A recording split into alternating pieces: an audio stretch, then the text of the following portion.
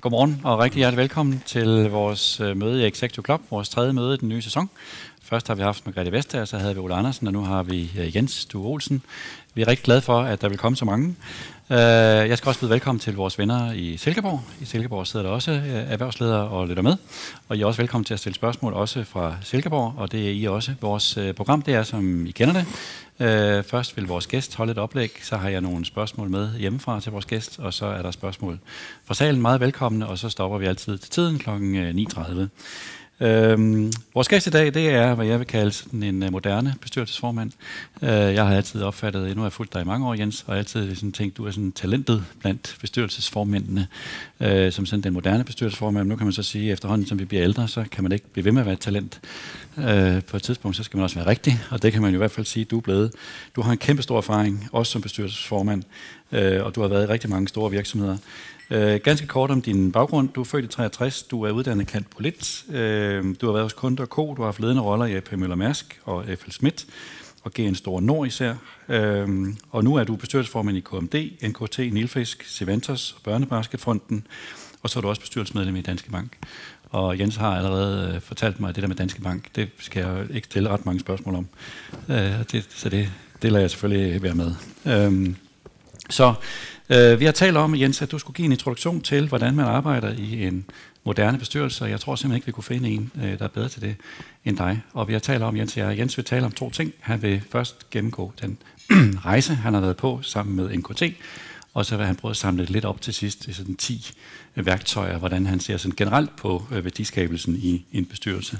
Så Jens, rigtig hjertelig velkommen. Vi glæder os meget til at høre dit oplæg. Tak skal du have. Og med den introduktion synes jeg, det er svært at komme videre, men øh, men tak for det. Og tak fordi I vil høre på mig her den næste times tid, både her i salen, men også i Silkeborg, hvor jeg kan forstå, at der også sidder en, en del. Øhm, jeg vil gerne tale om aktivt ejerskab, ikke som investor, men som øh, vi udøver det i bestyrelser. Og øh, øh, det vil jeg gerne gøre ved at tage udgangspunkt i aktivt ejerskab i private equity. Øhm, jeg arbejder i dag i bestyrelse, som Niels nævnte før, øh, både i private equity-selskaber, altså private equity selskaber, men også i børsnoterede selskaber.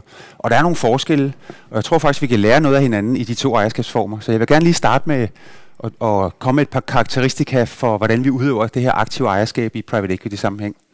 Så vil jeg lige tage kort igennem den rejse, vi har været på i NKT. Den er lidt atypisk. Altså det er et konglomerat, vi brød op, øh, og, og det gjorde vi på grund af nogle governance-mæssige issues. Um, og så vil jeg prøve at samle lidt op på, er der noget, vi kan lære i børsnoterede selskaber af de fordele, som private equity har en gang imellem, og hvordan kan vi, er der nogle, nogle geværgreb, vi kan tage for at øhm, for, for, for nogle af de fordele til at materialisere sig. Og så til sidst vil jeg komme med de her 10 bud på, på øh, aktivt ejerskab i børsnoterede selskaber. Jeg skal nå relativt meget på relativt kort tid, så jeg kommer til at tale lidt i punchlines, og, øh, og så tror jeg, vi kan øh, uddybe øh, de steder, der er interesse i lidt senere i, i dag. Så det er ikke meningen, at kunne læse det her, det er mere, så jeg kan huske, hvad jeg skal sige. Men øh, først om, om aktivt ejerskab i private equity. Øhm, I private equity, der, Øh, der, er en, der er en væsensforskel i forhold til børsnoterede selskaber. Det er det her med, at vi ejer selskaberne i relativt kort tid. Øh, og det betyder, at inden vi overhovedet begynder at købe et selskab, så har vi en, en holdning til, hvad er det for værdi, hvordan kan vi skabe værdi i det her selskab. Øhm, og vi har også en, en holdning til, hvor længe vi skal eje selskabet, og hvordan vi skal gå ud. Og i modsætning til det, at børsnoteret selskab, det er jo sådan en evergreen, men her kan vi altså, vi kan trykke på reset, når vi kommer ind, og det gør, at den agenda, vi har, den bliver meget, meget aktiv. Um, og vi spiller på hele spilpladen, så det er på salg, produktion, logistik, det er, det er øh, udviklingsaktiviteter, um, og vi ligger også og køber ganske meget op, og det gør vi på relativt kort tid. Og alle de her ting, de bliver omsat i starten af en ejerskabsperiode i det, vi kalder en full potential plan. Og det er en detaljeret plan for alle de aktiviteter, der skal foregå over de næste tre år.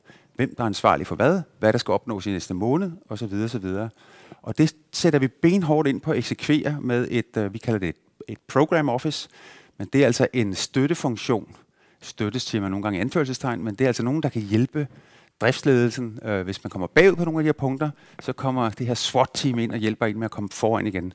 Så det, man kan sige, det er ekstra ressourcer, men det er også, øh, det er også øh, øh, til en vis grad det er en, en slags overvågning, kan man sige. Øh, men det, jeg tror, der er ret vigtigt at tænke på her, det er i børsnoterede selskaber, der har vi en historik. Vi har investorer, der er kommet ind for længe siden. Vi har en historik, vi skal leve op til. Vi skal være tro mod. I private equity kan vi simpelthen trykke på Control All Delete, og vi sætter, det lyder lidt groft, men vi sætter hele virksomheden på EPO. Uh, vi skal nå mange ting på relativt kort tid. Det kan vi også gøre, blandt andet fordi vi har en større risikovillighed i private equity. I børsnoterede selskaber, der skal vi jo passe på, at vi ikke lever tør for penge. Hvis vi løber tør for penge, så har vi den fordel, at vi kan gå ud til markedet, vi kan udstede flere aktier. Men at gøre det på et tidspunkt, hvor man mangler penge, det er en relativt dårlig idé, fordi aktiekursen vil være faldet, og det bliver dyrt at hente nye penge. Øhm, og derfor kan vi ikke give selskabet så meget, eller sætte så mange aktiviteter i gang måske, som vi gerne ville, fordi vi kan ikke tillade os at komme på den anden side af den her risikokurve. Det kan vi private equity, fordi vi har ejeren siddende lige ved siden af. Og mangler vi penge, og ideen god nok, så kan vi hæve dem den dag i morgen. Så det er en væsensforskel. Uh, det jeg også synes, vi er gode til i private equity, det er, at øh, ledelse er situationsbestemt. Og øh, I kan forestille jer igennem de her 3-4 år, hvor man har en full potential plan, der skal man nå relativt mange ting på relativt kort tid, og øh, det er ikke altid agendaen er den samme. Så i private equity skal man acceptere, at man kommer ind for at løse en opgave, og så ryger man ud igen. Og det gælder sådan set både i i øh, ledelse og bestyrelse. Vi plejer at sige, at det er ikke nødvendigvis den samme kok, som laver forretten, og som også skal lave hovedretten. Så det er sådan en accepteret del af arbejdet i private equity-selskaber. Man er der indtil man ikke er relevant længere, og så er man der simpelthen ikke. Øhm, så synes jeg også, der er den forskel, at vi er i private equity meget, meget tæt på ejeren. Og det formaliserer vi i, man kalder det forskellige ting i de forskellige private equity-selskaber, men vi kalder det trykkermøder de fleste steder. Og det er et forum, hvor ejeren, altså private equity firmaet, bestyrelsesformanden og øh, den administrerende direktør, de mødes. Og der kan I se, at der er meget, meget kort vej fra finansiering af gode idéer, som er i overensstemmelse med strategien, og til handling. Øh, og på den måde er vi hele tiden aligned med vores øh, aktionærer. Øh, og øh, det, det har en fordel, at man skal træffe mange beslutninger på relativt kort tid. Så er et par andre ting også. Øhm, private equity øh, arbejder intenst med incitamentsprogrammer. Altså alle er enige om, at der skal ske mange af de her ting på relativt kort tid. Og øh, det bliver folk sådan set også ganske godt belønnet for, hvis det går godt. Øhm, parentes bemærket vil jeg sige, at det er lidt paradoxalt, at det er de samme, det er jeres og mine pensionspenge, som er investeret i pensionsselskaber. De er vi på den ene side ikke, de er ikke så glade for, at vi har Øh, en bestemt type incitamentsprogrammer i børsnoterede selskaber, men de samme incitamentsprogrammer, eller øh, de, man, man kan have meget anderledes incitamentsprogrammer i private equity-selskaber. Øhm, og det tror jeg er en konkurrencefordel nogle gange, når man skal søge talent. Nogle gange. Endelig er der selvfølgelig også udfordringer i private equity. Jeg skal ikke komme ind på alle sammen, men en af dem er jo, når man har en endelig tidshorisont, og man skal ind med virksomheden, så kommer det her sidste periode problem. Og det er ikke alting, som kan sælges på alle tidspunkter. Og der synes jeg nogle gange, øh, hvor man i starten af private equity kan træffe meget, meget gode og langsigtede beslutninger, så synes jeg, at i den sidste periode, der kan man godt en gang imellem fornemme, at nu er det her noget, man skal ud af, fordi den fond, som den her virksomhed er en del af, den skal altså lukkes. Og det kan godt give nogle problemer. Så vil jeg gerne vende blikket over mod NKT. Og øh, kort om NKT, øh, det var i indtil øh, for, nye, gans, for ganske nylig et konglomerat, altså en virksomhed, som havde flere forretningsområder. Øh, og ser vi tilbage i 2013, august 2013, der havde vi tre forretningsområder. Vi havde en kabelforretning. Det er en af markedslederne i øh, at lave øh, de her powerkabler, øh, og verdens markedslederen i at lave jævnstrømsteknologi. Det bruger man, når man skal transportere strøm over lange afstande. Øh, især offshore, altså især til de her havvindmølleplatforme. Så Nilfisk, som mange af jer sikkert kender fra støvsugeren derhjemme, hvor mange her har en nilfisk derhjemme? Vi har en god markedsandel i Danmark, kan man se. Øhm, men det, det meste af det, vi laver i Nilfisk, det er faktisk professionel rengøringsudstyr, og øh, det er cirka 90% af forretningen. Og der er vi verdensmarkedsleder, så det var nummer to ben i konglomeratet. Og det tredje ben, Photonics, er der ikke så mange, der kender, men de laver højpotent laserudstyr, som man bruger blandt andet i medicoteknologiselskaber, øh, øh også i teknologiselskaber som sådan. Et, et, øh, et ret stærkt selskab også, som er verdensmarkedsleder inden for de teknologier, vi nu har der. Øh, det var et konglomerat, så øverst har man selvfølgelig aktionærerne. Aktionærerne vælger en bestyrelse, øh, og øh, i bestyrelsen her havde vi så et holdingselskab, som varetog rollen med at være kan man sige, bestyrelse for vores datterselskaber. og det er der nogle udfordringer i, og det blev vi i bestyrelsen i stigende grad opmærksomme på, vil jeg sige. Øh, jeg har prøvet at liste nogle af dem med, med rød og grøn her. I skal bare kunne se, at der er lidt mere rødt end grønt, øh, som udtryk for, at der er lidt flere udfordringer, end der er fordele. Men en af udfordringerne er, at der kommer ret lang vej fra strategi, som man har diskuteret måske med sine store aktionærer, til handling. Fordi alting går igennem øh, først en bestyrelse, og så går det igennem en holdingselskab, og den bestyrelse, som de nu sætter i datterselskaberne. Det skaber også mindre transparent. Det, det, det er så længere tid at få information frem fra, fra driften, kan man sige, til, øh, til bestyrelse. Øhm, det kan man sige, det kan man jo lave om på. Øh, det gør vi sådan set også. Men, øhm, men, øhm, men det skaber altså den her distance mellem en bestyrelse og, øh, og driftsselskaberne. Øh, og det er faktisk på den måde ikke rigtig en ægte two-tier-model, som jeg er meget stærk fortaler for, som vi jo har i det her danske eller nordiske setup, hvor vi har en bestyrelse og en ledelse, som er uafhængige af hinanden. Aktionærerne vælger bestyrelsen, bestyrelsen sætter teamet, øh, og der er nogle klare ansvarsrollefordelinger mellem bestyrelse og direktion. Og det bliver det udvasket her, for hvem er egentlig direktion, og hvem er egentlig bestyrelse? Øhm, så det bliver ødelagt lidt, synes jeg. Og jeg synes også, at bestyrelseskompetencer bliver ikke rigtig anvendt i selskabet. En af de ting, jeg vil komme ind på lidt senere også, det er, at vi du ved, en virksomhed er en meget hierarkisk struktur ofte, i hvert fald gammeldags virksomheder, hvor al magt centraliseres hos en, hos en CEO eller et ledelsesteam. Og derfor tror jeg, det er rigtig vigtigt, når vi har et organ som en bestyrelse, som skal overvåge en ledelse, at der bliver magten spredt igen. Så en bestyrelse skal magten fordeles. Og det er derfor, vi har bestyrelse, som ofte består af mindst seks generalforsamlingsvalgte. Det er for at kunne fordele magten igen. Øhm, og det gør man altså ikke i et konglomeratstruktur. Så det er en af udfordringerne. Øhm, uden at komme ind på det hele, altså en af de ting, der også er et problem med konglomerat, det er, at man typisk har en værdi, som er lavere end værdien af de underliggende selskaber, og det gør, at man åbner døren på klem for såkaldte aktivistaktionærer. Og aktivistaktionærer er ganske ofte aktionærer, som har en agenda om at skabe værdi til deres aktionærer, men på meget, meget kort sigt. Det er en udfordring i et, et selskab, et hvert selskab, hvis man skal begynde at tænke på at skabe værdi på kort sigt, for vi kan ikke træffe industrielle beslutninger på kort sigt. Det skal være på det mellemlange og lange sigt. Så der begynder at komme en diskrepans mellem aktionærinteresser og, og ledelses- og selskabsinteresser. Og så giver det også en lidt uøkonomisk øh, omkostningsstruktur, fordi der er, et, der er et lag for meget, så at sige. Der er også nogle fordele. Altså, øh, Photonics, som har været et udviklingsselskab i mange år, øh, kunne ikke have levet som selvstændigt børsnoteret selskab. Det var blevet, teknologierne var blevet samlet op af et andet selskab til alt for billig en pris. Så der også, kan også være lidt beskyttet værksted af at være et konglomerat. Det, så har man også fordele, at man kan diversificere sine øh, aktiviteter, og det gør, at vi måske kan, kan komme lidt tættere på den der risikobalance, som jeg talte om før i private equity, i et konglomerat. Vi er ikke så afhængige af indtjening kun i det ene selskab, der er lidt gyngere karuseller over det. Vi øh, lavet en to-triks-raket til, det vil vi gerne gøre, lave om på, og det første vi gjorde, det var at øh, afvikle vores holdingselskab, og med henblik på at kunne børsnotere de enkelte selskaber til sidst. Men selskaberne var ikke klar til at blive børsnoteret. De havde ikke en størrelse. Øh, og derfor startede vi simpelthen med at afvikle vores holdingselskab, og vi lå øh, selskaberne rapportere direkte ind til vores bestyrelse. Det lyder helt banalt, men det frigjorde en masse energi. Øh, der var meget kortere vej fra strategi til handling. Øh, vi fik aktiveret vores selskabsledelse over for vores bestyrelse og omvendt, og bestyrelsens kompetencer kom i spil. Og jeg tror også, det er vigtigt, at vi fik fordelt den her magt fra, at den lå på nogle få holdingdirektører, blev den fordelt ud på et, et større bestyrelsesorgan. Og det giver altså nogle bedre diskussioner og nogle bedre beslutninger. Så lidt mere en ægte two-tier-model.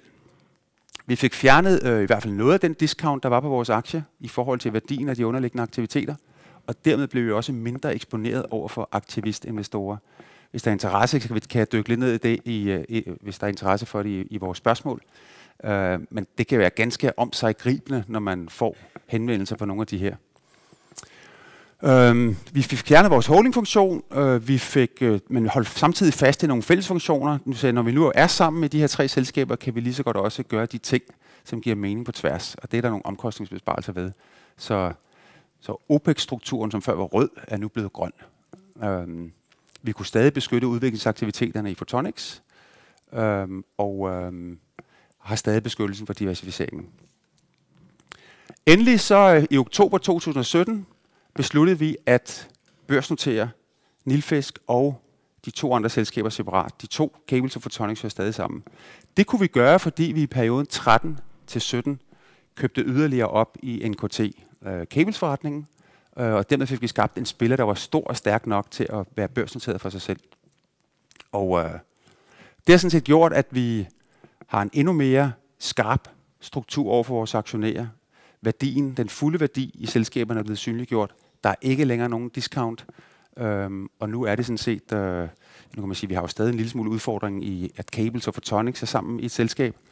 Men må ikke vi har vist nu vejen for, hvordan det også kan løses på sigt. Nu er det ikke altid, at øh, sådan nogle ting materialiserer sig i værdi på kortere sigt. Øh, det har det gjort i vores tilfælde. Øh, jeg har vist tre grafer her. Den blå, det er, det er NKT's aktiekurs, og den lyseblå, det er markedet i Danmark, altså OMX-indekset, og den orange, det er, hvis vi ser på vores konkurrenter, og laver et vigtigt gennemsnit af de relevante konkurrenter, hvordan har deres aktiekurs udviklet sig. Så uanset hvordan man vender og drejer det, så det har faktisk været en god idé. Men igen, det er ikke altid, det viser sig i kursen på kortere sigt. Det har det, det, har det gjort her for vores tilfælde. Nu vil jeg gerne tale kort om private equity i forhold til de børsnoterede selskaber. Hvad er det, som vi kan lære af private equity, og hvordan kan vi rykke de fordele lidt tættere på de børsnoterede selskaber? Øhm, meget kort. Det her at med, at man har sin aktionær meget, meget tæt på. Det er jo svært at opnå et børsnoteret selskab, hvor aktionærstrukturen er spredt. Måden vi forsøger at, øh, at mitigere den fordel på, øh, det er at øh, ja, for det første, som alle selskaber prøver at have, vi har en tydelig strategi, men vi er også meget kommunikative over for vores aktionærer omkring den her strategi. Og så sørger vi for, så vidt vi overhovedet har indflydelse på det, at have få store vi kalder dem ankerinvestorer, altså investorer, som man som køber ind i strategien, og når der opstår udfordringer, man kan tale med og måske få støtte til forskellige ting. Det er ret vigtigt, fordi ellers bliver magten i et, øh, et børsnoteret selskab alt for diffus. Gearingen øh, er jo svært at gøre noget ved, det her forhold med, at vi skal ud, øh, hvis, øh, hvis vi bliver for aggressive i vores øh, agenda og skal ud og hente ekstra penge, øh, kan det være svært at hente på det tidspunkt, man har brug for dem. Men en af de ting, man kan gøre, det er at sørge for, at man altid har et finansielt beredskab. Øh, og det kan man have i form af committed faciliteter, øh, altså øh, man kan sige kassekreditter, som ikke kan opsiges for bankens øh, vedkommende, som man kan trække på i dårlige tider. De, de skal jo helst forhandles i gode tider, skal man huske. Øh, men det gør altså, at vi kan bevæge os lidt længere ud på risikokurven, men ikke helt. Det med at nulstille strategien, øh, som skaber en fantastisk change agenda. Det kan vi ikke rigtig gøre i børsnoterede virksomheder, men vi kan i hvert fald forsøge at gøre det en gang imellem til en vis del, så vi kan prøve at være endnu mere aggressive på en gang imellem at trykke på stop, kigge på os selv udefra, øh, være modige nok til at lave om, øh, og så kan vi i øvrigt øh, sætte et programkontor op, som kan hjælpe med at implementere de her ting. Jeg tror også, at vi i børsnoterede selskaber skal være bedre til at sætte et nyt team en gang imellem det er ikke nogen skam at, øh, at, øh, at være et sted, men når man så har gjort det, man er allerbedst til, og man har implementeret det, så er det altså ikke nogen skam at forlade det for at lave noget andet. Og det skal vi være lidt bedre til at minde hinanden om. B- øh, private equity er meget, meget aktiv på, på øh, akquisitioner, øh, og den metodik kan vi også lære noget, noget af, så øh, det skal vi være lidt bedre til at kopiere også i børsnoterede selskaber. Øh, incitamentstruktur vil jeg ikke tale så meget om. Øh, men så synes jeg, at vi i børsnoterede selskaber jo har en fordel, at vi har adgang til aktiemarkedet. Øh, vi kan hente penge. Det kan man selvfølgelig også i private equity. Men vi kan også hente lange penge. Penge, som måske er endnu længere, end de har i private equity. Øh, og så har vi den fordel, at der er rigtig mange dygtige mennesker, analytikere, som kigger på os og giver os indspark, øh, fortæller os, hvordan det ser ud i vores branche osv. osv. Og den, den fordel er lidt større hos os, end den er i børsnoterede selskaber. Uh, vi har ikke sidste periode problemet. Uh, vi er stadig eksponeret over fra øh, den her det kortsigtede fokus, der, der kan ligge i visse aktiemarkedsrepræsentanter. Jeg vil sige, da jeg var yngre, der var jeg meget ind, endnu mere opmærksom på, at det selvfølgelig er aktionæren, der har virksomheden, og aktionærer har forskellige interesser, men man forsøger at pleje dem alle sammen. Efterhånden, som jeg er blevet ældre, så er jeg blevet lidt mere kynisk. Øhm, det kan godt være, at vi har aktionærer, som gerne vil fordoble deres øh, aktionærværdi på, øh, på de næste kvartalssigt. Øh, men det er altså ikke en strategi, vi kan forfølge, hvis vi mener, at vi kan tredoble værdien på tre års sigt. Øh, så derfor er man nødt til at sige fra over for kortsigtsbeslutninger, og man er nødt til at være endnu mere iskold, nu har jeg skrevet herop, være ligeglad. Man er nødt til at være ligeglad over for pres om at skabe værdi for kort sigt, fordi vi kan ikke skabe industrielle forandringer med et kortsigts øh, perspektiv. Øhm. Godt. Så vil jeg gerne komme slutte af her med øh, 10 bud på aktivt ejerskab. Øh, det samler lidt op på nogle af de ting, vi har talt om, men også de steder, hvor jeg er formand, der i de bestyrelser, øh, vi arbejder i her, der arbejder vi på en bestemt måde. For det første, øh, det, det, det giver sig selv, vi skal sammensætte et stærkt ledelsesteam, øh, kompetencer, der passer til opgaven, men også med et højt selvværd. Og det her med selvværd, det er vigtigt, fordi i de selskaber, hvor jeg arbejder, øh, der er bestyrelsen ret aktiv, og man er nødt til som ledelsesteam at have et højt selvværd, hvis man skal acceptere, at det er altid, det er, øh, det er viden, det er indsigt, der sætter agendaen. Der er ikke noget hierarki i det her. Øh, vi har forsøger altid at have en, en stærk værdiskabelsesplan øh, med ledelsen. Hvad skal opnås? Hvornår? Vi diskuterer planen, vi diskuterer strategien. Ledelsen bestemmer selvfølgelig, hvordan. Og så skaber vi fokus på de fem, syv vigtigste nøgleinitiativer af gangen, og er meget opmærksom på at hele tiden få fjernet nogen, og så sætter vi nye på. Øhm, det her med den dynamiske tilgang til strategiplanen har jeg talt om. Øhm, effektive beslutningsprocesser, det er vigtigt, at vi har information, der flyder frit igennem systemet. Vi får ganske meget materiale i de bestyrelser, jeg sidder i. Vores diskussion er meget målrettet, så materialet det er pre-reads til vores bestyrelsesmøder. Øhm, så vi søger at få transparens, og igen det her med, med anchor investors, altså vi har transparens hele vejen igennem systemet. Det tror jeg også er ret vigtigt. Øh, jeg, vil gerne, jeg vil gerne pointere igen det her med at fokusere på det mellemlange sigt. Lad være at fokusere kortere end det mellemlange sigt. Man bliver forvirret. Øh, det er ikke selskabets interesse. Så det er super, super vigtigt, at man gør det også over for sine aktionærer. Sådan en ting, der er ret essentielt for mig, det er, at bestyrelsen er et kollektiv. Som jeg sagde før, ledelsen i vores selskaber er stadig meget hierarkisk, og derfor er det vigtigt, at magten bliver fordelt i en bestyrelse. Der er en grund til, at vi er 6-9 medlemmer med forskellige baggrund. Den diversitet er vigtig for at kunne træffe rigtige beslutninger og kunne udfordre ledelsen. Så de steder, hvor jeg er formand, jeg er kun en anfører for holdet. Øh, ikke i øh, intellektuel forstand, men kun i, at jeg hjælper med at orkestrere møderne. Jeg sørger for, at alle bliver hørt. Øh, jeg sørger for en gang imellem, hvis vi får enige om et eller andet, så sørger jeg for, at der er en, der kommer ind, som har den stik modsatte holdning, så vi får en god diskussion i gang. Øh, så det er form og ikke... Øh, øh undskyld, det indeholder ikke form, som driver vores diskussioner. Og der skal være plads til diskussioner, der skal være plads til uenighed, øh, og det bruger vi rigtig meget tid på i de bestyrelser, jeg sidder i. Vi har, det er ikke alle selskaber, der er implementeret det endnu, men vi har board-only tid på hver eneste møde. Så vi slutter typisk en time af på hver eneste møde med at snakke igennem, har vi haft de rigtige diskussioner i dag? Er alle blevet hørt? Har vi truffet de rigtige beslutninger? Øh, hvordan fungerede arbejdet i bestyrelsen? Hvordan synes vi, vores ledelsesteam performede? Og det, det er en diskussion, vi har hver gang. Og det er en fantastisk god måde at sørge for, at vi som bestyrelse fungerer rigtig, rigtig godt. De bestyrelser, jeg sidder i også, hvor jeg er formand, vi stoler 100% på hinanden, og det er også en fordel, når man engang imellem skal træffe svære beslutninger. Der er ikke nogen, der går ud og suger og mugner bagefter. Bestyrelsesammensætningen, den er essentiel. Den er ikke statisk. Øh, bestyrelser i vores selskaber mødes ikke kun seks gange om året. De mødes meget hyppigt. Hvis de har en stærk kompetence, det er jo en af grundene til, at de sidder i bestyrelsen, øh, stærk kompetence, som kan anvendes på en eller anden problemstilling, man har i selskabet, så bliver de brugt direkte og bruger meget tid, og kan, hvis jeg skal, hvis jeg skal øhm, provokere lidt, så, så vil jeg sige, så kan de faktisk gå ned og arbejde for CEO'en med at få løst den her opgave, og så bevæger de sig op i bestyrelsen igen. Den regel, vi har, det er, at der skal hele tiden være et flertal af bestyrelsesmedlemmer, som ikke arbejder på en konkret opgave, øh, fordi ellers får vi ikke den her fordeling af magten. Det er lidt, øh, det er lidt atypisk det her, men det fungerer faktisk rigtig, rigtig godt, og det er også noget, vi gør i private equity. Committed faciliteter har jeg talt om, det har vi alle steder. Øh, forhandle dem nu i gode tider, for det er der, man kan undgå covenants på sine øh, finansielle øh, faciliteter. Øh, en måde, vi også arbejder på, det er med de her grandfather rights, øh, eller bedsteforældre, øh, hvis man skulle prøve at oversætte det. Men det betyder sådan set bare, at, øh, og, og det sørger vi for, at vores selskaber har hele vejen ned igennem, det er, at øh, vores ledelsesteam kan ikke hyre og fyre nogen, der rapporterer til dem, eller sætte deres løn, uden at det også er diskuteret og godkendt af niveauet ovenover.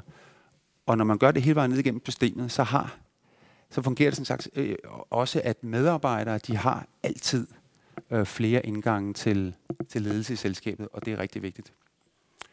Øhm, og så endelig tror jeg, øh, uden at det skal overdrives, men altså, vi skal have sammenfaldende interesser. Det er befriende i private equity, der har vi et formål i virksomheden, og alt drejer sig om at skabe den her plan på tre års sigt.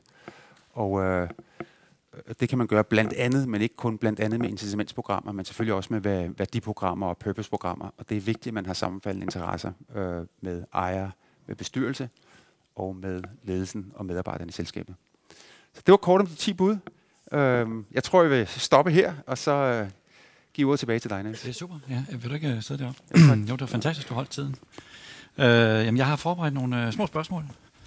Øh, tusind tak for det, Jens. Øh, Altså, jeg, jeg havde, vi har jo aftalt, at jeg skulle spørge lidt ind til de 10 værktøjer, men, men allerførst så har jeg bare sådan nogle, nogle, nogle lidt indledende nogle øh, spørgsmål. Øh, altså, jeg har jo nogle gange indtryk af, at i vores dage, så er sådan virksomhedsledelse og ikke mindst bestyrelsesledelse, det er sådan meget finansielt orienteret øh, og øh, på bekostning af sådan det mere sådan industrielle. Altså at, at, at, at tit når jeg taler med direktører og sådan noget, så taler de, så lyder det ligesom om de er finansdirektører. Altså de taler meget sådan i tal, og mindre sådan i værdiskabelse og det jeg vil kalde sådan almindelig købmandskab eller industrielle ting. Er der en tendens til det, eller, eller har jeg misforstået det? Øh, er der, er der plads til sådan den traditionelle industrialist i vores dage i toppen af en virksomhed? Det synes jeg, der er. Altså, jeg, jeg tror, du har ret i, at der har været en periode, hvor aktiemarkedet tog lidt over, hvor en god direktør var også en, der kunne tale om earnings per share og, øh, og, og øh, KGAR-udvikling i topline og bundlinjer, hvad ved jeg. Øhm, og det skal en direktør selvfølgelig også kunne i dag, når man taler med aktiemarkedet. Jeg tror ofte, når man når eksterne taler med en direktør, så er det med den der aktiemarkedshat på.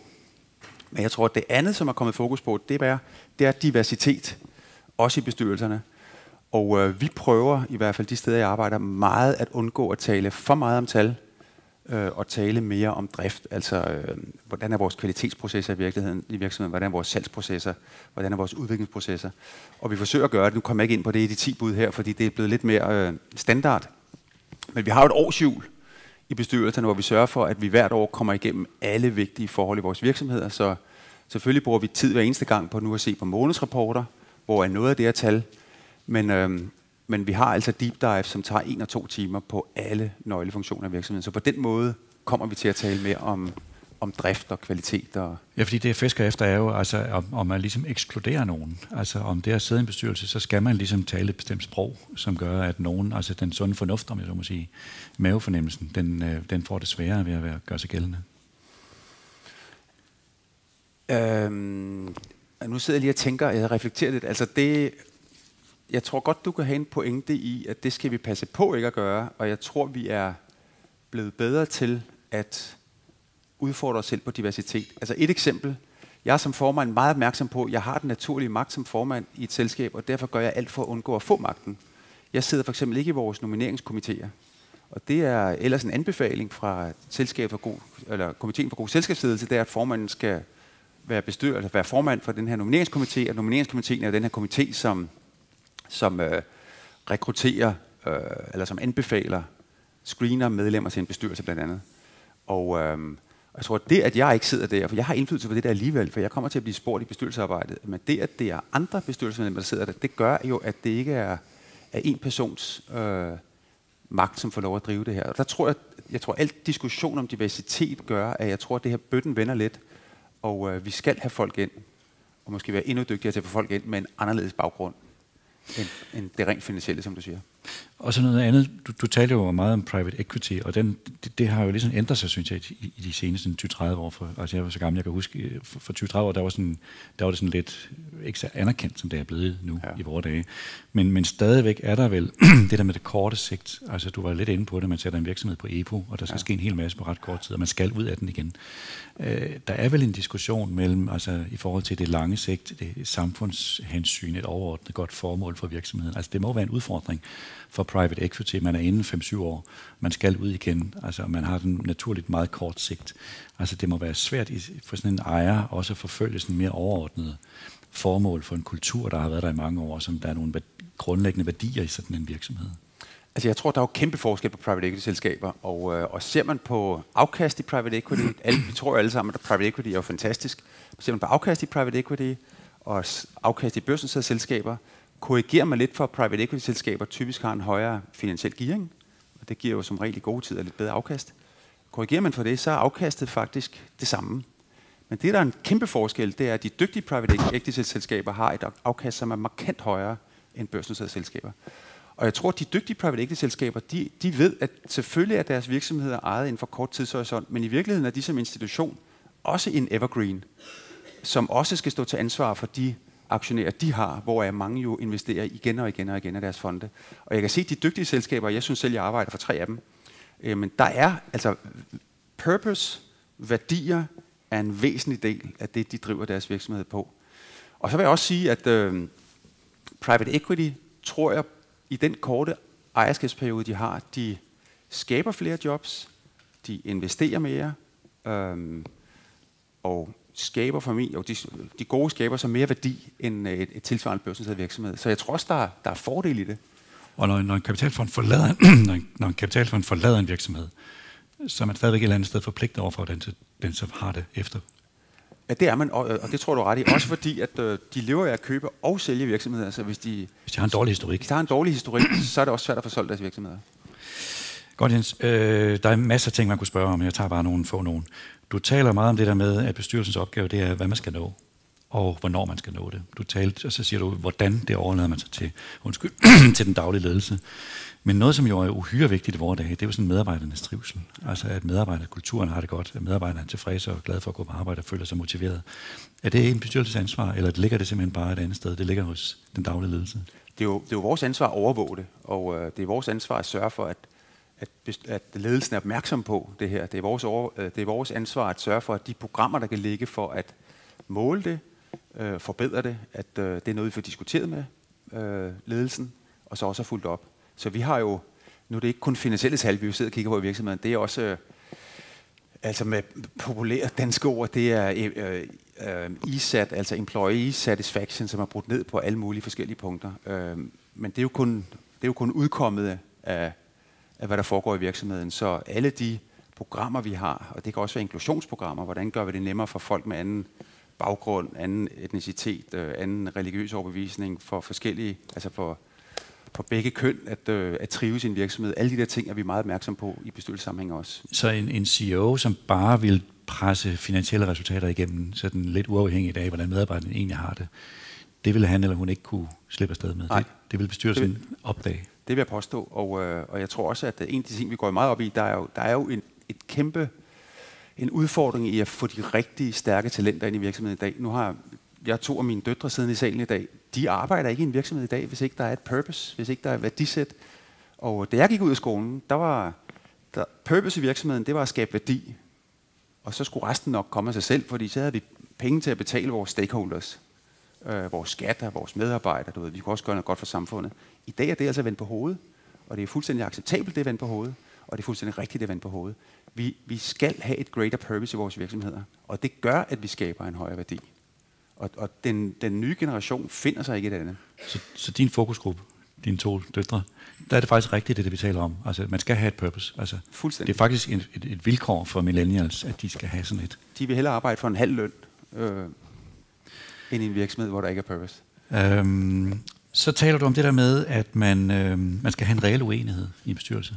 Og det lyder jo fint. Øh, jeg gætter på, at det ikke er helt nemt at gøre det, fordi altså, hvordan skal det kræve en vis tryghed jo. Ja. Altså, at man skal jo både have noget tid til det. Øh, folk har jo travlt. Du skal skabe et rum, hvor man har tid, men også hvor man er trygge ved hinanden.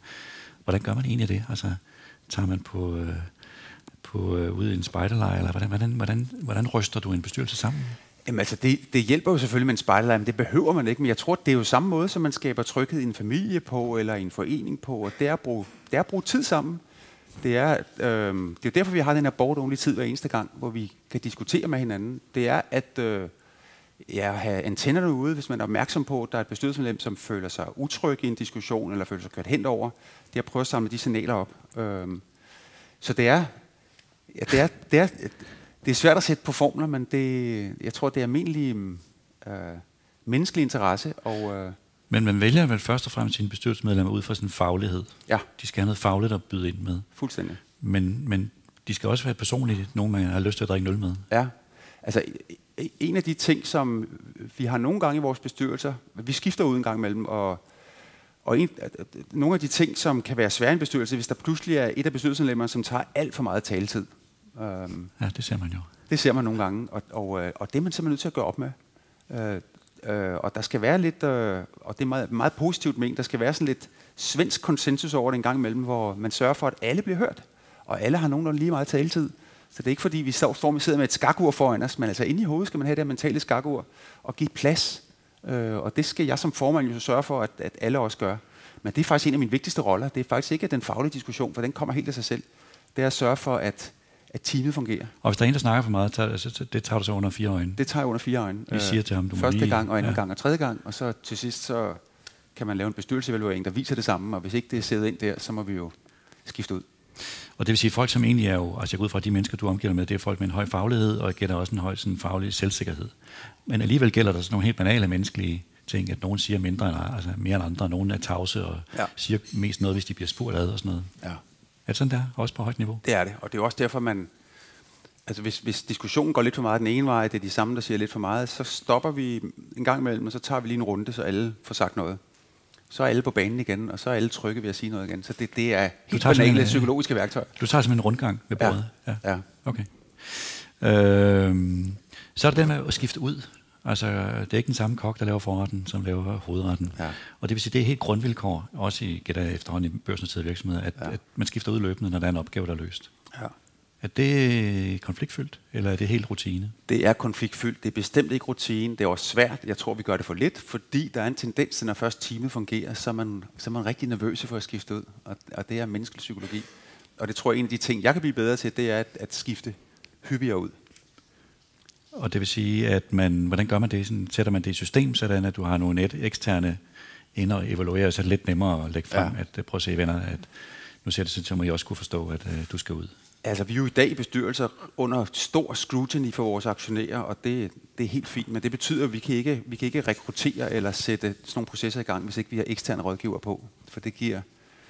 Vi er nødt til at have det mandat og den diskussion for at tage de her, de her beslutninger. Øhm, så det gør vi. Øh, har ofte eksterne øh, på, der kigger på psykologien øh, i bestyrelseslokalet, kigger på kompetencerne, øh, og ser på de værdier, som skal drives i virksomheden, og så se, om det er på tide at skifte ud. Og så har vi en snak om det. I plenum? Eller sådan? Øh, nogen, altså, som regel har jeg jo som formand ansvaret for at tage det en og en, og øh, så bliver det så senere i plenum. Men, men du ved, vi vil jo aldrig køre nogen over i, i et plenum, så det, man må tage det i en rigtig rækkefølge. En anden tradition, du kommer med fra Private Equity, det er det der med at inddrage bestyrelsen ret aktivt, i virkeligheden jo i driften. Altså, ja. eller i hvert fald, når der er sådan nogle konkrete opgaver, så sætter man bestyrelsesmedlem sammen med hvad, nogle ledere i virksomheden, ja. og så har de et projekt, som de løser. Ja. Og det er vel lidt anderledes, end det er i de fleste børsnoterede virksomheder. Det er meget anderledes, og det er ikke helt kom il få. Jeg synes, det fungerer. Øhm, altså, problemet kan jo være, at den overvågende rolle, man har i en bestyrelse, den bliver udvisket. Og det er derfor, det er derfor vi siger, at nu tager for eksempel vores photonics-selskab, det er, det er meget specifik viden, øh, der skal anvendes det selskab. Vi har i NKT Jens Målø, han, han er Ph.D. i, øh, i, i, i lysleder simpelthen, så han har spidskompetencer på nogle af de områder, hvor han kan udfordre ledelsen, måske også være med til at løse konkrete problemer. Så han går ind en gang imellem og tager konkrete opgaver sammen med udviklingsfunktionen. Øh, og det er så kun ham, og så må vi andre forsøge at overvåge det, han laver, og så hive ham tilbage i bestyrelsen igen en gang imellem det kommer, fungerer. Ja, kommer så direktion på mellemhånd?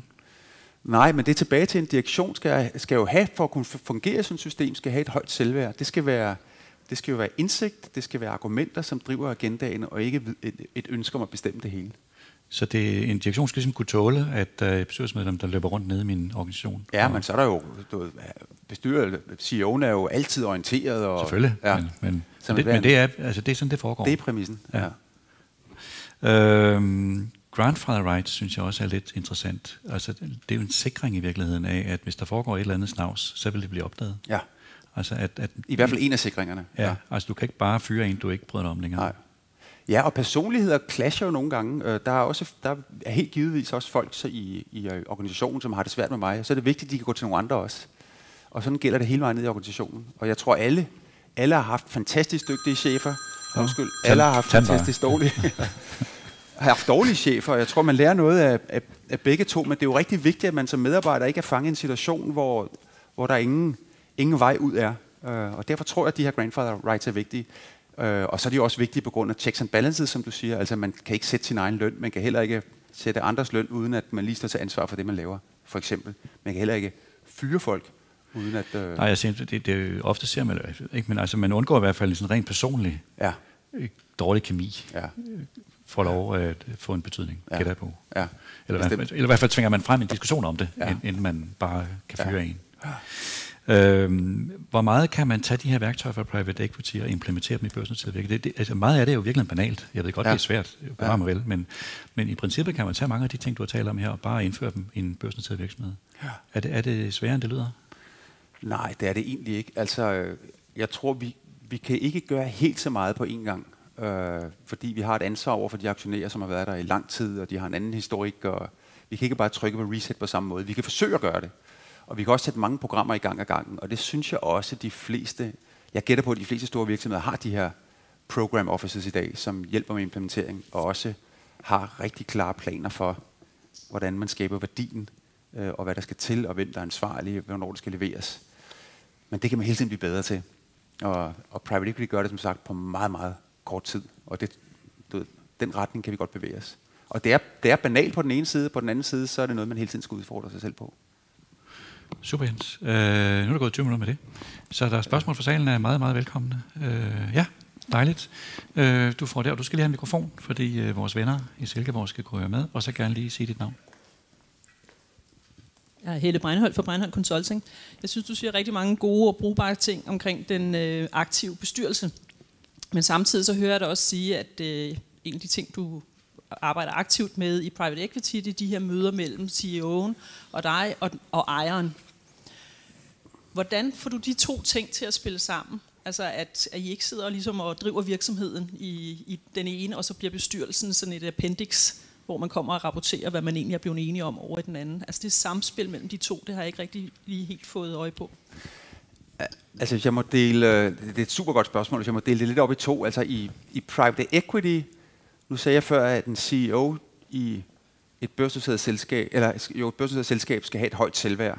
Det skal man godt nok også som formand i private equity, fordi der er hele tiden balance. Hvem bestemmer egentlig? Er det kapitalejeren? Er det formanden? Er det CEO'en? Øh, og, øh, og det kræver selvværd, det kræver kommunikation, Øh, og, og for mig fungerer det i private equity på den måde, at øh, jamen, jeg er altså jeg er, jeg er ikke bekymret, hvis, hvis og når ejeren taler med den administrerende direktør, fordi jeg ved, jeg bliver orienteret. Og jeg ved, vi mødes så hyppigt, så vi er, vi er aligned på de store ting alligevel. Og er vi ikke det, så har jeg så stor tillid til mine ejere, at de selvfølgelig vil diskutere det med mig også. Og selvfølgelig er der en gang imellem, at filmen knækker, øh, og så må man lige sluge den, og så kommer vi videre, og så taler vi om det. Ja. Ja, og det, og det er svært i, øh, i børsnoteret, eller undskyld, i private equity sammenhæng.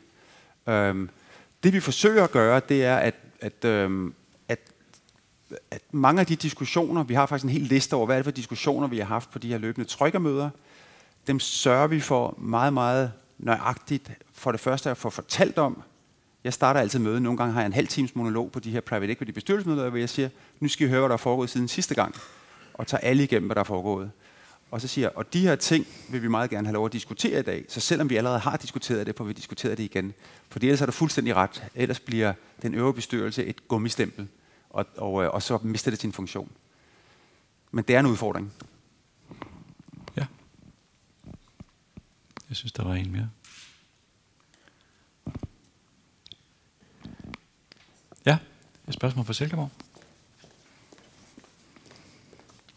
Tak. Øh, Thomas Knudsen, der spørger, kan du sætte flere ord på den her deep diving? Hvordan fungerer den på virksomhedens driftsprocesser i praksis? Deep diving, altså det jeg gætter på, det er det, der menes med at gå ned i Ja. bestyrelsesmedlem, der går ned i driften. Øhm, altså det kommer an på, om vi har et problem eller ikke har et problem. Øh, hvis vi har et problem i en virksomhed, så er det typisk noget, vi får diskuteret på bestyrelsesmøde, og så siger vi, at vi har, vi har de her de løsninger, vi kan være usikre på de her de ting, måske kan vi også nogle gange være usikre på diagnosen. Og så foreslår vi måske, at der er et bestyrelsesmedlem, som bruger tid med teamet på at forstå det her. Øhm, så det starter vel der. Nogle gange vil vi også hive eksterne konsulenter ind, simpelthen for at få adresseret en problemstilling meget, meget hurtigt. Øhm, så det kan også være helt praktisk at sørge for, altså forstår vi problemstillingen, øh, forstår vi, hvad der skal til for at løse den, og kan vi få det her løst hurtigt. Så i praksis kan det foregå ved, det, det, det er jo meget situationsbestemt, øh, men i praksis kan det jo foregå ved, at øh, pågældende bestyrelsesmedlem simpelthen sætter sig i spidsen for en, en, øh, en komité, som arbejder med den her konkrete sag. Så for, for lagt planen, sørger vi for at levere på planen, for at melde tilbage til CEO'en, og så ret hurtigt få opløst sig selv igen. Hvor lang tid tager sådan et forløb? Jamen det kan være, øh, nogle gange kan det være seks måneder, og nogle gange kan det være to uger. Uh, så, det, så det er meget situationsbestemt. Og nogle gange er udfordringen i virkeligheden at forstå problemet, snarere ja. end at finde løsningen. Ja. Og, og, øh, og det kræver noget tid. Og det er jo ikke altid, vi har den tid på bestyrelsesmøder. Og det var måske en ting, der kunne have været det 11. bud, det er, at vi, gør, altså, vi har udbredt brug af komitéarbejde. Både de faste komitéer. I dag er der jo større og større pres på regulatoriske forhold, øh, finansielle forhold. Det, det, det bliver meget det arbejde, bliver lagt i vores revisionsudvalg. Øh, vi har også complianceudvalg nogle steder. Og det tager de sig af. De rapporterer til bestyrelsen, siger, at der er nogle, måske nogle, jo, nogle nøglespørgsmål, vi skal diskutere. Men ellers så meget af det her, det er jo, det er jo pre-reads til bestyrelsesmøderne, og det gør, at vi har tid til de andre ting. Og derfor er vi også øh, meget, altså vi nedsætter de her ad hoc-komiteer, som vi opløser igen. Ja, fordi altså, jeg går ud fra, at der, der er mange ting i vores dage, ikke ser en, en finansiel virksomhed, men alle altså, der er mange vigtige, men også, undskyld udtrykket, trivielle ting, Ja. som bare skal laves, men som Ja. tager tid, hvis ikke man får dem skubbet væk. Helt så du har tid til, det er det vigtige, Ja. at tale om forretningen. Ja. Og, og derfor er bestyrelsesmaterialet bliver mere og mere omfattende. Der er flere og flere krav fra, fra tilsynsmyndigheder til os som bestyrelser. Uh, nu vil jeg slet ikke komme ind på, hvordan det er i den finansielle sektor, men det, kan- det kan man prøve at gisne om. Men, uh, men også i, i, i industrielle selskaber. Og uh, hvis ikke man passer på, så kommer, så kommer alle de her myndighedskrav til at overtage agendaen på et bestyrelsesmøde. Så får man ikke tid til at diskutere virksomhedens drift, virksomhedens ledelse, virksomhedens værdier, som i virkeligheden er nu skal jeg passe på, hvad jeg siger, men i mange sammenhænge er langt vigtigere, ikke også for virksomhedens ved og vel. Ja, jeg vil gætte på, altså de kreative mennesker, de, de gider vel ikke sådan noget? Nej. De, de, de gider vel ikke sidde i sin bestyrelse? Det Nej, er vel risikoen? Slet ikke. Nej. Yes. Spørgsmål?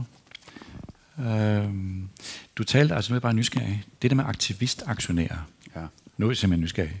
Ja. Øh, du, du sagde, altså de er ikke særlig rare for ind, fordi de er ekstremt kortsigtede, Ja. og det clasher lidt med, hvad der er godt for virksomheden. Ja. Kan du prøve at fortælle lidt om dine erfaringer med det? Ja, altså nu kan jeg lave, det er lidt en tænkt situation, men lad os, øh, eksemplet er tænkt, men så skal jeg nok komme ind på noget, der var reelt. Ja. Altså, øh, forestil jer, at vi har en KT, i dag har vi Cables, og vi har Photonics sammen. Photonics er stadig lidt under udvikling. Hvis vi satte Photonics til salg i dag, kunne vi formentlig få en pæn værdi for det, men vi kan få, tror vi, en meget højere værdi inden for en relativt kort øh, øh, periode. Øhm, og, øh, og det gør, at vi er tvunget til at sælge Photonics for tidligt. Det er simpelthen en dårlig idé for vores aktionærer.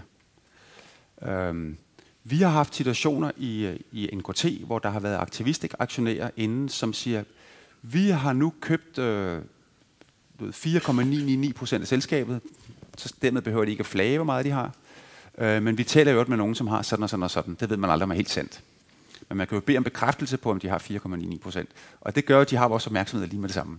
Og siger, vi, øh, er, vi er, er klar til, at, øh, at vi kan få fat i andre 6 procent, så vi kan indkalde til en ekstraordinær generalforsamling. Det vi gør med henblik på at øh, få skiftet jer ud, sådan så vi kan få, få øh, splittet selskabet op. Og så sidder vi jo der, og, og vi har jo en masse viden, de ikke har. Øh, øh, og det skal vi huske, i en bestyrelse og en ledelse har jo meget mere viden om, hvad der foregår i selskabet, end aktionærerne har.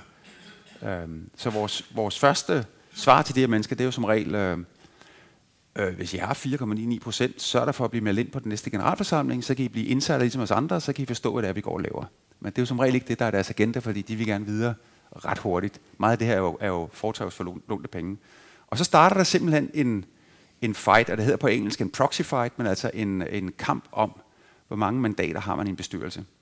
Øh, og det er simpelthen en, øh, en mangel på et bedre ord, det er sådan en pissing contest, hvor man i løbet af 24 timer skal overbevise de her mennesker om, at øh, de kan hyle og skrige, fordi vi sidder på, du ved, jeg kan ringe til 30% af vores aktionærer inden for 10 minutter, og de støtter det, vi gør, fordi de køber ind i vores strategi, øh, øh, og køber ind i den handling, vi har, og føler ikke, vi er bagud for planen. Øh, og så starter de her, så hyrer begge parter, de hører øh, såkaldte øh, proxy agents, og det er nogen, der går ud i markedet med de her beskeder og samler øh, fuldmagter op for de forskellige investorer. Og så bliver, det ret hurtigt, øh, så bliver man ret hurtigt klar over i løbet af de her 24 timer, hvem der egentlig sidder med magtbalancen. Man kan godt forestille at det er ubehageligt, øh, at man i løbet af 24 timer, man går, går og arbejder med alle de her ting på mellemlangt og lang sigt, og det kan blive vendt på hovedet på 24 timer, hvis ikke man har fat i sine store nøgleinvestorer. Så de her proxy fights er meget nærværende. De kommer med mere til Danmark. I USA er det dagligdag for virksomhederne. Øh, det er det endnu ikke her, men det kommer mere og mere, og det, og det er ikke sundt. Hvis jeg må sige en anden ting også, øhm, og, og det er sådan lidt en kæphest. Øh, vi har rigtig mange dygtige investorer øh, i vores selskaber. Øh, en af de udfordringer, mange af vores investorer dog har, det er, at øh, på den ene side er det jo langsigtede penge. Det er langsigtede penge, vi har brug for, for langsigtede penge træffer langsigtede beslutninger. Men hvis I ser på mange af de mennesker, der forvalter jeres pension og min pension, de bliver målt på kvartaler, de bliver aflønnet på kvartaler, de handler ved deres aktier, aktiebeholdning en til to gange om året. Det er ikke langsigtede penge. Øhm, og det er en udfordring. Øh, det er at få langsigtede aktionærinteresser i børsens selskaber. Er det, ved øh, at, er det ændrer det sig?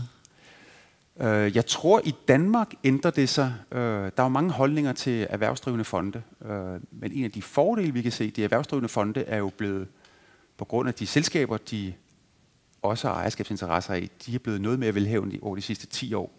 Og de erhvervsdrivende fonde er mere og mere aktive på de, i børsnoterede selskaber. Og vi oplever erhvervsdrivende fonde som lange penge. Og det er lange penge. Og, og de, er, de er anchor investors i de fleste selskaber. Men nogle gange er de måske også lidt sløve penge. Jamen, jeg tror også, at de har spidset pinden. Hvis man ser på, på den måde, de sammensætter deres investeringsteams på, det er, en, det er nok anderledes, end det var for 10-20 år siden. Jeg vil også gerne, hvis ikke der er spørgsmål. Jesper, har du spørgsmål? Nej. Du skal have mikrofon, Jesper. Jeg har haft glæden af at arbejde med Jens øh, for mange, mange år siden i Japan. Og jeg kan huske, en af hans evner, det var at, øh, at øh, tage sådan tension ud af rummet.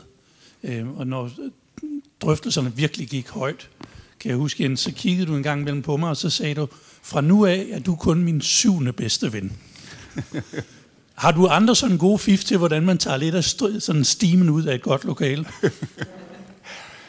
Åh, altså jeg tror, det har jeg jo lært af dig, Jesper, men øh, humor kommer man langt med, ikke også? Så jeg tror, den der, og det er virkelig noget, tror jeg, vi danskere generelt er gode til, det er den der, man skal passe på, at det ikke bliver sarkasme, men, øh, men altså, at, øh, at få humor ind i lokalet, det, det opløser mange konflikter. Øh, det er vel en af dem og spøj til side, altså en gang imellem kan det også bare være sundt at sige, ved at vi holder lige en pause. Hvis stemningen bliver skidt i lokalet, så har man altid lov til lige at, og, øh, og kalde en pause. Det er lidt sværere, når man sidder heroppe lige nu, men nu stemningen er også god. Men, øh. Stemningen er super god nu. men, men hvad hedder det? Men du sidder vel også i bestyrelse, hvor der er kulturforskelle, altså hvor der sidder ikke danskere. Helt bestemt. Hvilken rolle spiller det i en bestyrelse? Er, er, de, er de mere formelle, eller mere sådan hierarkisk orienteret? Og sådan noget? Ja, altså det er også svært at generalisere. Altså der er jo nogle gange nogen, der siger, øhm, øh, den danske bestyrelse er alt for danske, øh, og det kan godt være. Øh, men de fleste danskere har jo boet og arbejdet og levet i udlandet i rigtig mange år, fordi vi er et lille land.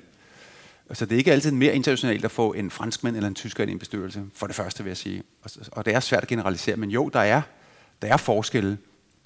Den diversitet er jo også vigtig, øh, tror jeg. jeg. Jeg synes, at jeg lærer, øh, jeg lærer meget af mine tyske og amerikanske kollegaer, for eksempel, som jeg ikke nødvendigvis lærer af mine danske kollegaer. Øh, så jo, det, det, kan, det kan være udfordrende, men det er også, øh, det er også vigtigt. Og diversitet generelt, og, og den her mangfoldighedsrummelighed, er noget, hvor vi er bagud, hvor vi, som vi altså skal spidse pinden lidt på, og det, det er jeg også bagud på, og det forsøger vi at lære af. Men jeg har, bare, altså, jeg har selv erfaring med for eksempel angelsaktisk, angelsaktisk ledelse. Altså, det er jo helt anderledes. Ja. Altså, det er meget mere hierarkisk, og nogle gange ligefrem arrogant jo. Ja. Altså, det kan godt være lidt svært at håndtere. øh, Det kan slags, det. Og jeg har da også skåret mig, når jeg sidder i, øh, altså med tyske kollegaer en gang imellem, hvor, hvor, hvor min model, en CEO med ikke var for meget magt, der har jeg da skåret mig nogle gange på mine tyske kollegaer, som altså, der er CEO'en har al magt du ved, til at gøre næsten hvad som helst i en virksomhed. Og der kan vi godt clashe en gang imellem. Øh, der er et spørgsmål fra Silkeborg. Øh, du taler meget om diversitet i bestyrelser og den rigtige teamsammenhæng. Kan du sige noget lidt mere om, hvad der skal være dækket ind fagligt, altså for eksempel kreativitet, finansiel forståelse, indsigt i et særligt forretningsområde og andet? Altså hvilke faglige discipliner, tror jeg, der menes, skal der være ligesom dækket ind? Ja. Altså for det første vil jeg sige, og det tror jeg gælder alle, der arbejder, øh, uanset om man arbejder i Børnebasketfonden, eller man arbejder i en industrivirksomhed, eller, eller en finansiel institution. Altså ledelse er situationsbestemt, og, øh, og, og, og, øh, og det er jo noget med at finde ud af, hvilken situation man befinder sig i. Og øh, Lars Ternay fra Nordic Capital, han lavede engang sådan en, han havde en figur på tavlen til mig og sagde, nu skal jeg vise dig, hvordan du arbejder, Jens. Og, og øh, det er måske logik for burhøns, men det fik tieren til at falde lidt. Men altså, hvis jeg forestiller at en, en ledelse, der fungerer godt, og som performer godt, stærkt team, der performer godt, der drejer det sig om at holde nallerne væk. Der skal man i virkeligheden være klog nok til at sige, hov, vi skal ikke stå i vejen her, vi skal bare holde os klar. Det kan også være svært at holde sig klar. Så kan der være en, en ledelse, som, øh, som er rigtig stærk, men som ikke performer særlig godt. Der skal man forsøge at coache, øh, fordi de er i virkeligheden gode, men måske skal de bare have hjælp til at diskutere retningen, måske lidt hjælp fra et bestyrelsesmedlem, øh, hvis bestyrelsen i øvrigt har noget at til, tilbyde med, eller, eller du ved, et, de skal nudges lidt på at tage nogle ressourcer ind måske.